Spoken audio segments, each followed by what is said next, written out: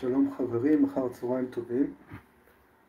אני רוצה לעשות את השידור הבא בנושא חשוב מאוד, אה, ובעזרת השם אני מקווה שהדברים אה, יצאו כמה שיותר ברורים, כי באמת מדובר בנושא חשוב מאוד ודק מאוד. אה, וזה העניין שכולם יודעים שהיה בית המקדש הראשון והשני, שנחרבו. ויודעים שבעזרת השם בעתיד יהיה בית המקדש השלישי. אה, זאת אומרת, אה, בניין, אה, בניין העתיד. אבל יש דברים מסוימים שאנשים לא יודעים אותם בנוגע לכל מה שיש בין שני הדברים הללו. והדבר הזה הוא סוג של סוד. סוג של סוד, אבל הוא חשוב ביותר. ו... זה דבר שאפשר לכנות אותו בית המקדש שתיים וחצי, השני וחצי. ואני מקווה שככל שהשידור יתקדם, אה, הדברים אה, יהפכו להיות יותר ויותר מובנים. בסדר? אז בואו נתחיל ככה בהתחלה ולאט לאט אה, נגיע להבנה של הנושא. אז ברשותכם אני רוצה להתחיל ולקרוא את פירוש אה, תוספות יום טוב לאחד ממפרשי המשנה בהקדמה שלו למסכת מידות. אז כמו שאתם יודעים, מסכת מידות זה המסכת במשנה שבה מתוארים, אה, מתואר מבנה בית המקדש השני. על כל פרטיו, הלשכות, אה, המידות בעצם, מידות של המקדש השני. ומתחיל כאן התוספות יום טוב בציטוט ישיר מהרמב"ם. עכשיו זה כשלעצמו, הרמב"ם הזה כשלעצמו הוא בעל חשיבות עצומה. כי רוב האנשים שמדברים על, על הרמב"ם, ואנחנו גם, אנחנו המון המון המון הסברנו את, ה, את, ה, את הנקודות הללו, הם, מה הם עושים? הם הולכים ישר לסוף משנה תורה, מדפדפים את כל הספר, מגיעים להלכות מלכים של משנה תורה, קוראים שם איזה סעיף וחצי, והם כבר חושבים שמזה אה, הם, אה, הם מבינים בדיוק את, ה, את ההלכות לפי הרמב"ם, ויש מלא דברים שהם לא יודעים. מלא מלא דברים שהם לא יודעים, כולל ברמב"ם בעצמו. עכשיו, מה העניין? העניין הוא שהמשנה תורה, קחו אה, פרט למשנה תורה, הרמב"ם כתב גם את פירושו למשנה. ותראו דבר מאוד מעניין שהרמב"ם כותב בפירוש המשנה שלו, גם בהתחלה של מסכת מידות. הוא מביא למה אה, מופיעה במשנה מסכת מידות, מה, מה החשיבות שלה? אז אומר ככה הרמב"ם, הביא אחר תמיד, אחר מסכת תמיד, הביא מסכת מידות, ואין בו עניין אחר, אלא סיפור שהוא זוכר מידת המקדש וצורתו ובניינו וכל ענייניו. כן? זאת, זאת הרי, זה התוכן של מסכת מידות, אה, מידת המקדש וכל ענייניו. אה, צורתו, בניינו, וכל ענייניו. והתועלת שיש בו, זאת אומרת, למה כללו חז"ל את, את, את מסכת מידות בקרב המשניות? מה אנחנו לומדים ממסכת מידות? אז אומר, כשיבנה, כי כשיבנה בית המקדש, יש לשמור ולעשות התבניות ההוא, והתוכניות והצורות והערך, מפני שהוא ברוח הקודש. כמו שאמר דברי הימים א' כ"ח, הכל בכתב מיד השם עליי אסכיל. עד כאן לשנות. מה אתם שומעים? מה אתם לומדים מכאן מפירוש המשנה של הרמב"ם? כתוב שחור על גבי לבן, שלפי הרמב"ם, אנחנו עם ישראל צריכים לבנות את בית המקדש. שחור על גבי לבן. אומר בעתיד, שבני ישראל יבנו את המקדש, לא יהיה שום, לא מדובר פה על משהו שיפול מהשמיים, אה, בני ישראל אה, יהיה להם את היכולת לבנות בית המקדש, יפתחו מסכת מידות ויבנו, לפי מפורש במסכת מידות. פשוט מאוד שחור על גבי לבן. אז כבר דבר ראשון, יש לנו מכאן חידוש עצום אה, בנוגע להבנת הרמב"ם, בניגוד למה שאומרים כל המוני עם, שמדברים על בית מקדש שיפול משמיים, ומדברים על זה שמשיח יבנה את המקדש וכולי, רואים פה פשוט שחור על גבי לבן. דעת הרמב"ם זה שעם ישראל צריך לבנות את המקדש, ולא רק לבנות את המקדש, לבנות אותו כמפורט במשנה לפי מסכת מידות. אבל בכל זאת ממשיך התוספות יום טוב, שיש כאן בכל זאת שאלה מאוד גדולה. לא האם עם ישראל צריך לבנות את המקדש או לא, אלא השאלה היא, הרי ידוע לנו שיש לנו עוד מקור לגבי, אה, לגבי המקדש, לגבי מידות המקדש. וזה מה שמופיע בפרקים אה, ב, בספר יחזקאל. יש פרקים בספר יחזקאל שבהם גם מפורטות נבואת. נבואת יחזקאל לגבי מידות בית המקדש השלישי. ובנבואה הזאת כתובים דברים שונים מאוד מאיך שהיה בנוי הבניין בבית שני. אז מה, מה עם זה? כביכול, תחשבו שיש לנו שתי תוכניות. תוכנית אחת כפי שמופיעה במשנה במסכת מידות, מתארת את תבנית בית המקדש השני. והרמב"ם אומר לנו שאנחנו צריכים לבנות לפי זה. ולעומת זאת, יש לנו את נבואת יחזקאל, שבה מתואר בכלל דבר אחר לגמרי. מי שיסתכל בנבואת יחזקאל וינסה פחות או יותר לצייר, לתאר לעצמו איך, אה, איך נראה שם הבית, צורה אחרת לגמרי ממה שיש ב... אה, מה שהיה בבית שני, מה שיש במסכת מידות. אז איך מיישבים את זה? איך, אה, איך חולמים את, ה, את הדבר הזה, אם יש שתי תוכניות? ובפרט, הרמב"ם אומר לנו בלי, בלי בכלל פיקפוק, צריך לבנות לפי, לפי, לפי מה שכתוב במשנה. אז מביא לנו כאן התוספות יום טוב בעצמו, והוא אומר שאפילו הרמב"ם בעצמו נדרש לעניין הזה. זה דברים, דרך אגב, דברים מפורסמים מאוד, אבל בכל זאת שווה, אה, שווה ללמוד אותם ככה בעיון. אז בואו נראה מה כותב פה אה, אה, תוספות יום טוב. ואף על פי שהבניין של העתיד, יש פה שינויים, ולא ישבו עם בניין בית שני. וכמו שיראה מעיין במשנה, בספר יחזקאל. והרמב"ם עצמו כתב בתחילת הלכות בית הבחירה, וזה לשון, זה מפורסם מהמשנה תורה. בניין שלמה כבר מפורש במלכים. וכן בניין העתיד, להיבנות אף על פי שהוא כתוב ביחזקאל, אינו מפורש ומבואר.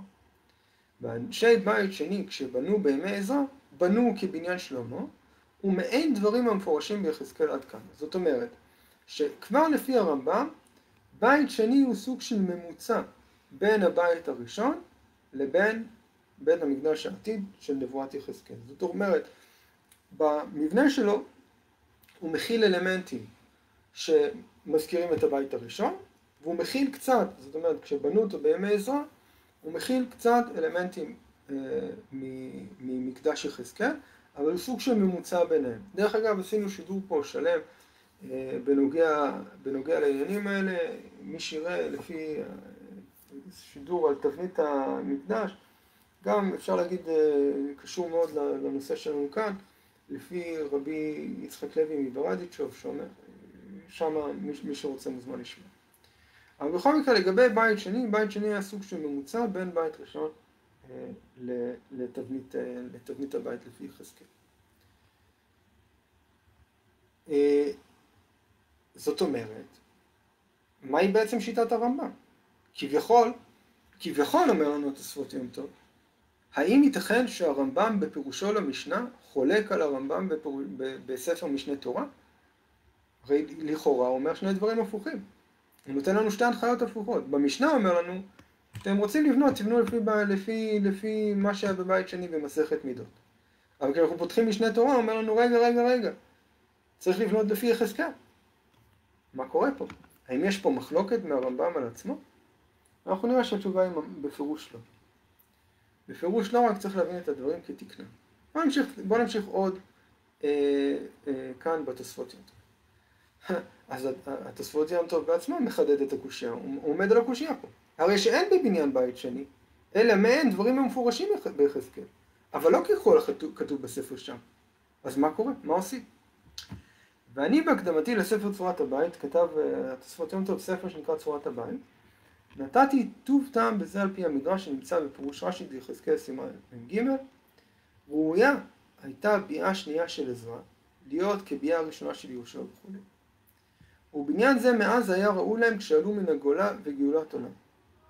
אלא שגרם החטא, לא הייתה תשובתם הוגנת וכולי עד כאן, זאת אומרת, לפי רש"י, עולה שהסיבה שבגללה בבית שני לא נבנה בדיוק כבר מראש כמו אה, בנבואת יחזקאל, הייתה בגלל מעמד הדור. אנחנו דנו הרבה מאוד בדור הזה של ימי בית שני. מצד אחד אה, לא עלו כל העם, נשארו הרבה אנשים בבבל, אה, מי שעלו בסופו של דבר היו אה, גם במעמד רוחני יחסית, יחסית ירוד. ו, וכידוע כל, ה, כל המגבלות שהיו שם ב, בימי בית שני, וכשורש וענף מבאר לנו רש"י שהמצב הרוחני הכללי של העם, שהיה עם כל הפירודים שהיו שם וכל המגבלות שהיו, יצרו את המצב שבית המקדש השני היה בתבנית שלו כפי שהוא היה. סוג של ממוצע כזה בין הבית הראשון לבית השני. אה, כן, שי, נכון, זה בדיוק מה שאמרנו בתחילת השידור. המסכת מידות, ולא רק הוכחה שבמסכת מידות, אלא הרמב"ם בעצמו מביא את זה כראיה לכך שעלינו לבנות את בית המקדש בעצמנו. הוא מביא, בואו נקרא שוב פעם את דברי הרמב"ם. אומר, הרמב"ם על מסכת מידות אומר בפירושו למשנה, והתועלת שיש בעניין ההוא, בכתיבתה של מסכת מידות, הוא כשיבנה, כי כשיבנה בית המקדש, יש לשמור ולעשות את התבניות ההוא והתוכניות והצורות והערך מפני שהוא ברוח הקודש. זאת אומרת, לפי הרמב"ם אנחנו צריכים לבנות את בית המקדש בעצמנו. אז מה כותב לנו פה התוספות יום טוב? לכך אני אומר שלפי שלא הייתה תשובתם הוגנת, לא יכלו למלאותו בכל חלקי הבניין כמות שהוא. לפי שאותו בניין מיועד לגאולת עולם, שתהיה הכבוד חונל לעולם. עניין שנאמר שם ושכנתי בתוכם לעולם. ומכל מקום, הואיל והיה ראוי להם, ראו כי טוב לבנות מעין אותו הבניין במקצת מן הדברים עד כאן, עד כאן דבריו שם. אז הוא אומר, אז למה בנו את בית שני? אם ידעו שזה לא הולך להיות בית שנבנה לעולם, למה לבנות אותו? למה, למה לא לחכות בעצמם לבניין בית המקדש השלישי? אז הסיבה היא מאוד מעניינת. הוא אומר שלמרות שזה לא היה בניין עולם, זה היה ראוי לדור שלהם. הם בנו אותו לפי תבנית ומידות הדור שלהם, בבית שני.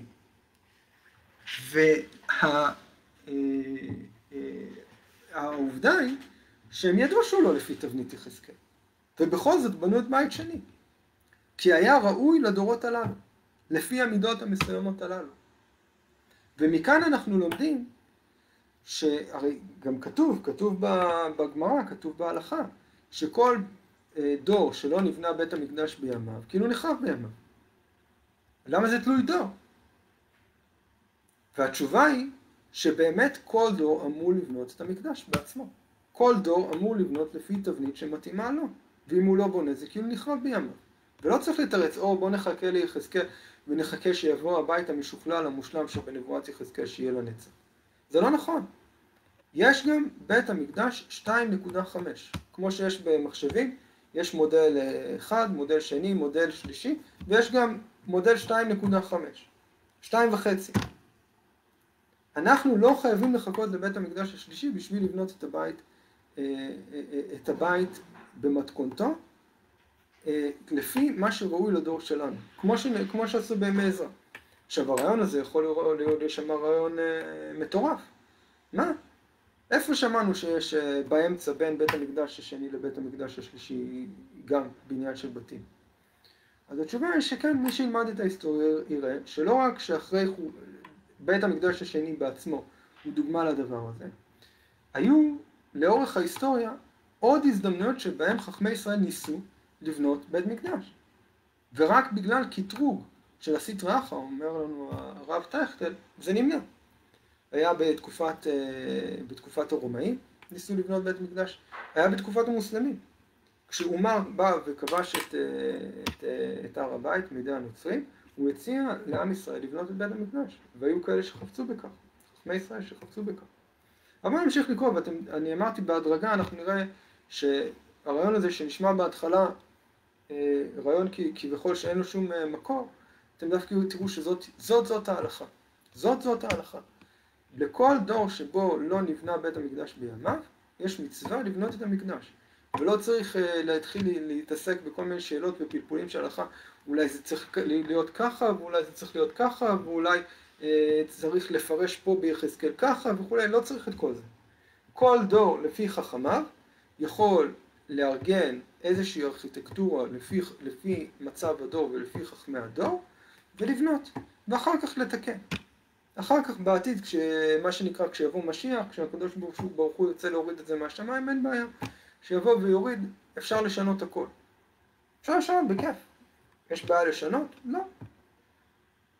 אבל כל עוד ש... ש... אה, שאין לנו את הבית, בית יחזקאל המשוכלל, המושלם, שיורד מהשמיים. אין לנו, לא רק שאין איסור לבנות אה, בית בינתיים, יש מצווה. יש מצווה בכך. אין שום סיבה שהחורבן הזה יישאר. אין שום סיבה שבעונה. החורבן הזה לא אמור להיות. וקיום החורבן הוא כנגד ההלכה. כי בכל דור ודור יש על עם ישראל מצווה לבנות את המקדש. וזה תכליתה של מסכת מידות. אדרבה דרך אגב, לא בהכרח לבנות בדיוק במידות של מסכת מידות, אלא שמסכת מידות בכך שבימי עזרא הם בנו לעצמם לפי מידות שהיו נראות לחכמי, לחכמי הזמן בדור ההוא, אנחנו לומדים שיש לכל דור את הזכות לבנות את המקדש בהלכה שהוא, שהוא בחורבנו, לפי ראות עיניהם. כמובן, בגדרי הסביר בגד, במסגרת ההלכה. אבל זה לא צריך להיות על המילימטר על המילימטר, לפחות ברמת המבנה עצמו, הארכיטקטורה עצמה, לא צריכה להיות על המילימטר בשום צורה. אה, בכל בית שנבנה. כמובן, יש, יש דברים שהם כן צריכים דיוק, למשל המזבח, אבל חוץ מזה, פרט לזה, אה, המידות הן גמישות. אה, ועל כל, ועל, ועל כל זה, יפה כתב הרמב"ם, שסיפור עניין בית שני, יש בו תועלת לעתיד, לעתיד מצד דברים רבים הדומים. וגם זה שהביא לראיה ממה שנאמר הכל בכתב מיד השם עלי להסכים. אף על פי שדוד הוא שאמר כן לשלמה בנו, על בינה הראשון. מכל מקום יש ראיה ממנו. וכמו אה, ש... אה, בתרא דסוכה, תנא ומתקנים שם תיקון גדול, העתקתי ששאלו בגמרא והכתיב הכל ביד מיד, אה, והכל בכתב מיד השם עלי הסכים.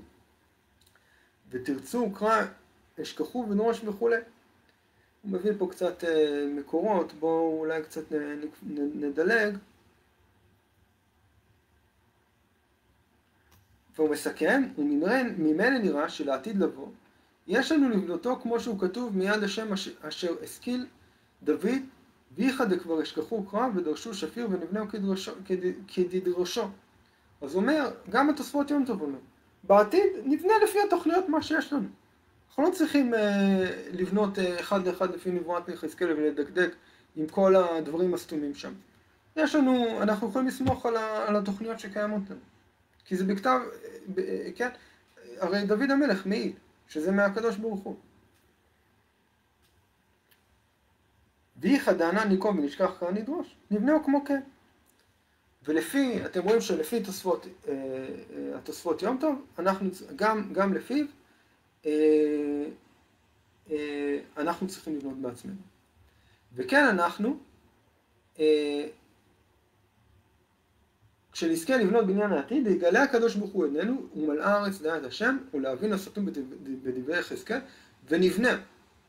אבל מכל מקום, צריך לסיפור בניין השני, שכן רוב ועיקרי הבניין מיוסדים בתבנית השם אשר השכיל לדוד ולא ימות. על מה שזכנו הקל יתברך לדרוש עוד מן המקורות, מצורף לזה שעל ידי הסיפור הזה של בית שני, אנו יכולים לדרוש ולהבין בבניינה די חזקאל. ואילו לא היה זה הסיפור נכתב בספר, לא מצאנו ידינו ורגלינו באותו בניין העתיד שייבנה במהרה בימינו. עכשיו, מה שמדהים פה, זה שמי שעושה סדר באמת בכל הדברים הללו, זה הרב טייכטר, השם ייקום דמו. והרב טייכטל אומר פה דבר מדהים, אז בואו תקשיבו מה אומר הרב טייכטל בספר אם הבנים שמחה. אז הוא כותב, לי, הוא כותב כאן את הדבר הזה. אה, הוא כותב כך, הוא כותב, ויש פה פרק שלם, גם עליו העברנו, העברנו אה, שידור אה, נפרד, לגבי עניין בניית בית המקדש, הוא כותב פה כאן, כך, והייתה לי בזה הצעת דברים, לפני כבוד קדושת הגאון הרב הקדוש ברוך צינה קדישה חסידה ופרישה אדמו"ר שליטה. לפי מה שאני מבין, האדמו"ר שהוא מדבר עליו פה זה כנראה האדמו"ר מרזים, אה, כנראה של דורותיו. ואמר לי בפיו הקדוש, שאנחנו בעצמנו נבנה בית המקדש. עיין אגדה רבי צבי קלישר, זכר צדיק לברכה. זאת אומרת, הם מתבססים את עצמם על דברי הרב צבי הירש קלישר, אה, שגם כתב, כתב כך בהגדה שלו, כמובן בספר דרישת ציון גם. הוא ממשיך ואומר כאן כך, ואני המח... וראיה לזה ממדרש הנ"ל, ואני המחבר מוסיף דגם מתוספתם מוכח כן. ואמרתי, לפ... אני לפני כבוד קודשו, הגם שיש לי, אה, הנה הגם שיש לי תודה לקהל, קצת ידיעה בעניין תבנית בניין המקדש, עדיין מסופקני באיזה תבנית ומידה לבנות. זאת אומרת, הרב טכטל בא והרצה את הקושייה הזאת בפני האדמו"ר, לפי מה שאני מבין, האדמו"ר מרדזין, של דורותיו, של, של, של הדור שלו, של אה, לפני אה, 80 שנה, לא, לא 80, סליחה, אה, כבר, כן, 80-90 שנה. אה, ואת אותה קושייה שבעצם אנחנו אה, גם אה, מעלה התוספות יום טוב. הרי לכאורה יש לנו פה שתי תוכניות, תוכנית של בית המקדש השני ותוכנית של בית המקדש השלישי לפי יחזקאל. מה, לפי מה בונים? מה, אני מכיר את ההלכות, אני מכיר מסכת מידות, אני מכיר את, ה, את מה שכתוב ביחזקאל, אבל תכלס, מה, מה לבנות? צריך להחליט, נכון? כי זה הרי בניין שייבנה לעולם לפי מה שמאמינים האנשים. אדמו"ר מרזי נתנו תשובה מדהימה. אבל בואו נסיים את הקושייה. אה, ואמרתי, אני לפני כבוד קודשו, הנה הגם שיש לי תודה לקהל קצת ידיעה בעניין תבנית בניין המקדש, עדיין מסופקני באיזה תבנית הוא מידה לבנות. בדיוק כמו הקושייה ששאלנו פה, לפי מסכת מידות, לפי יחזקאל. אם כתבנית ומידת בית שני, כמו שמופיע במסכת מידות, במשנה, או כתבנית ומידת בניין יחזקאל, כי לא פורש בזה. רק בתוספות ים טוב, זיכרונו לברכה, בפתיחה למסכת זו מידות, כתב שנבנה בניין יחזקאל. כן, הוא מביא בדיוק את התוספות יום טוב, מה שלמדנו כרגע, והוא מבין מזה שלפיו צריך לבנות לפי בניין יחזקאל. כי הגם מדביער לנו רבי במשניות תבנית בית שני, יש קצת הוכחה לזה שנבנה תבנית בית שני. זה לפי הרמב"ם, בפירושו למשנה. כן, אז הנה, יש לנו כביכול אה, כל מיני שיטות בדבר. וברוב המקרים שיש מה שאנשים חושבים כמה שיטות, בדרך כלל זה שיטה אחת. בדרך כלל אין באמת בדברי רבותינו כמה שיטות. אלא יש שיטה אחת שיש לה כמה היבטים. ורוב האנשים פשוט לא יודעים להרכיב את הפאזל. ומה שהאדמו"ר מרזין, התשובה שהוא נתן לו תשובה מדהימה, שמרכיבה את כל הפאזל הזה בחן ובדרך פלא ובבהירות אין קץ. תקשיבו מה הוא ענה לו. הוא אמר לו כך,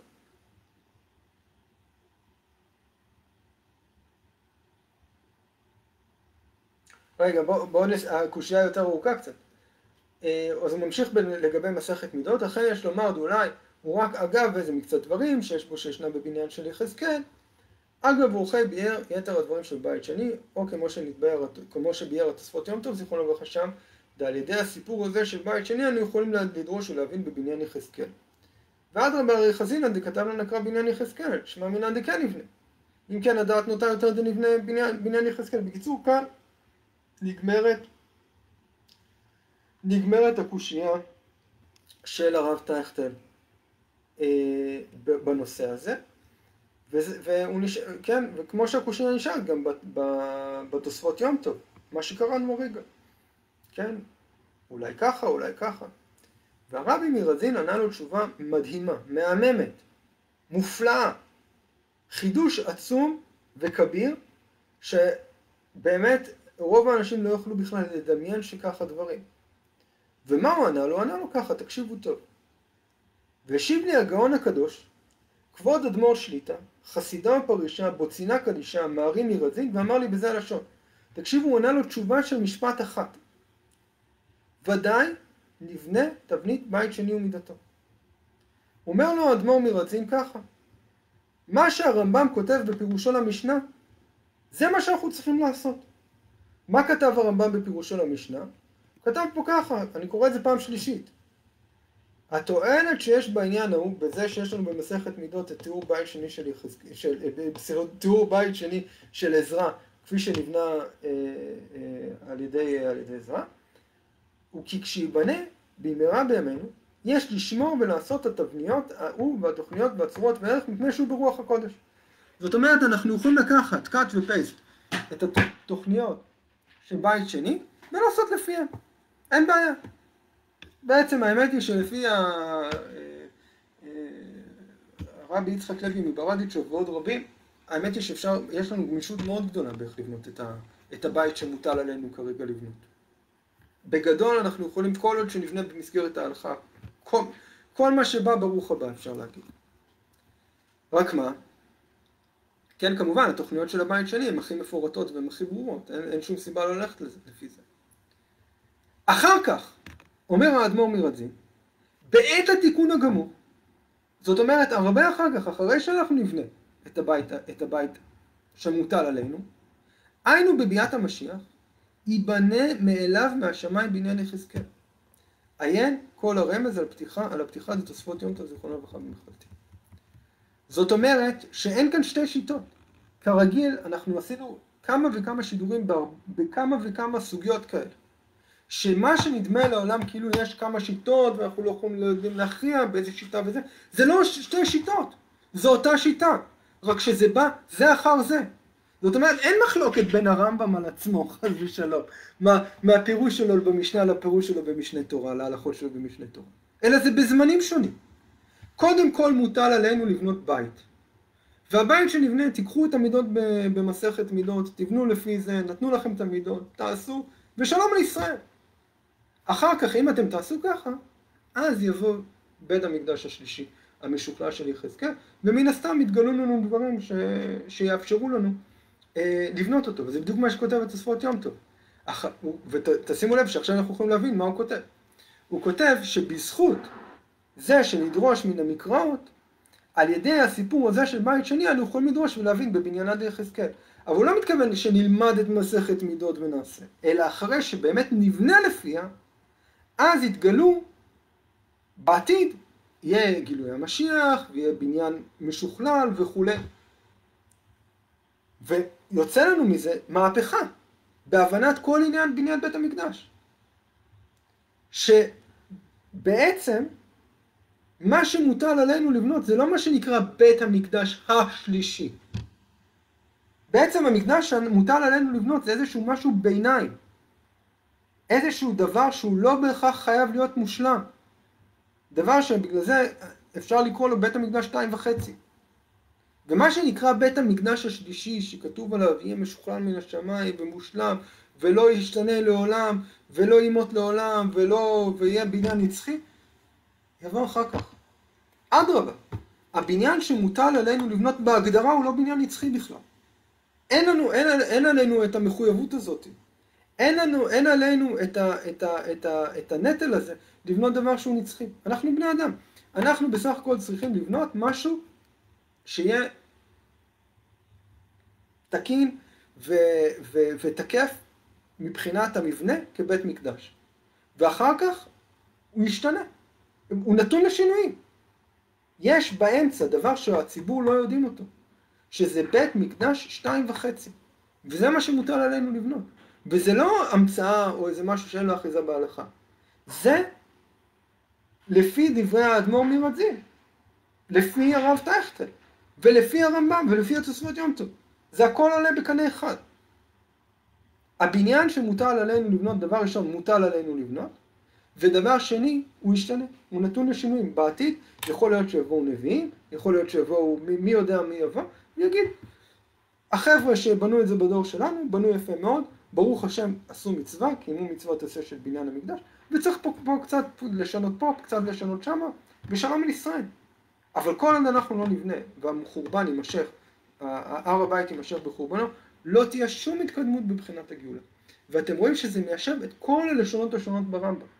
כי הלשון האחת, שמדברת בפירוש המשנה על החשיבות של מסכת מידות, מדברת על מה שמוטל עלינו כרגע בבניין המקדש שמוטל עלינו, מה שאנחנו קוראים לו מקדש 2.5, ומה שכתוב במשנה תורה מדבר על ימות המשיח. וכמו שאומר הרב אלקלעי, באמת, ההלכות, מה שכתוב בספר משנה תורה, מדברות על, על ימי משיח בן דוד. לא נוגע אלינו. אנחנו נמצאים בתקופה שאנחנו צריכים להביא את משיח בן יוסף, וזה דבר שהעם לא מבין, כי אצל העם הסדרים של הגאולה משובשים. ואתם רואים איך אה, אה, אה, ברגע שלומדים את הדברים האלה בצורה מתוקנת, הכל מתיישב בטוב טעם. כל, ה, כל השיט, מה שהם חושבים שזה שיטות שונות, מתיישבות פשוט כמו פאזל, כל חלק שלו נמצא במקום הנכון. וזה פותר לנו את כל הקושיות הללו. פשוט במשפט אחד, מה שהאדמו"ר מרזין נתן פה, שמופיע בהם הבנים שמחה, זה פשוט המפתח, מפתח גאוני להבנת כל, ה, כל הסוגיה הזאת, פשוט מהפכה, מהפכה רבתי, ועושה סדר בכל הדברים, בכל הדברים. אז חברים, יישר כוח, שיהיה שבת שלום בעזרת השם. אה, באמת, באמת אה, דברים הפלא ופלא, הנה, בואו רק נסיים לקרוא. אה, הוא כותב פה, הרב טייכטל, כותב גם במילים הללו, כשומעי זאת מפי קודשו שמחתי מאוד, כי בזה נפתחו לפני שערי בינה, ולעשות פשר, דבר בין דברי רבותינו זכרונו לברכה. היינו בין התרגום יונתן והתנחומה. כי תישא סימן י"ג המובא בתוספות בשבועות, ט"ו דיבור המתחיל אין, ולדעתם יהיה נבנה מן השמיים. ובין הירושלמי והזוהר הקדוש, חלק ג' רכ"א א', ולדעתם יהיה נבנה בידי אדם. דרך אגב, גם מהפכה שהרב טכטל עשה, השם ייקום דמו, בהם הבנים שמחה, לבאר שלפי שיטת הזוהר הקדוש, אה, בית, בית המקדש צריך להיבנות בידי אדם. דרך אגב, אנחנו גם גילינו ב, בימים האחרונים שזאת הייתה שיטת בעל הסולם, הרי בעל הסולם הוא שר הזוהר, הוא דיבר עם תלמידיו בשיעורים, אה, בשיעורים של תלמידיו הקרובים על עניין אה, שבית המקדש צריך להיבנות בידי אדם, צריך להיבנות בידי עם ישראל. אז מי, מי כבעל הסולם ש, שיודע מהי שיטת הזוהר? ומסכים לדברי הרב טייכטל שלפי הזוהר אה, בית המקדש צריך להיבנות בידי אדם, דרך אגב לפי הרב טייכטל גם לפי רש"י, גם העברנו על זה שידורים. ונאמר, דמה שאמר רש"י ותוספות בכוונת הגמרא דראש השנה ל' עמוד א', דסליקה דבניין העתיד יהיה בעיני שמיים, הוא רק לפי מאי דסליקה לשם בגמרא, אוקיי, זה פה כבר עניינים של סוגיות אחרות. אמ,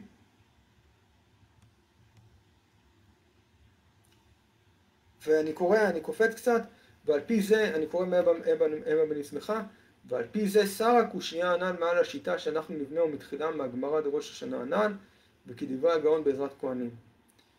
אה,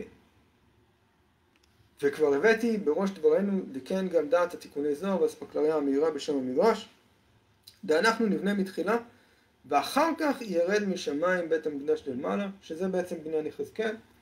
שוב מצאתי גם בספר האמונות והדעות לרבנו סעדיה גאון, מאמר ח' דיבור נתחיל וכיוון, דמתחילה נבנה בית המקדש ברישיון המלכות, וזה יהיה הכנה לבניין שיבוא לנו מן השמיים. ובכן נתקיים שיטה זו כיתד שלא תמות, ויהיה רצון שנזכה לזה במהרה בימינו אמן. אז חברים, יישר כוח, שיהיה שבת שלום לכולם, באמת דברים חשובים. יישר כוח לכולם.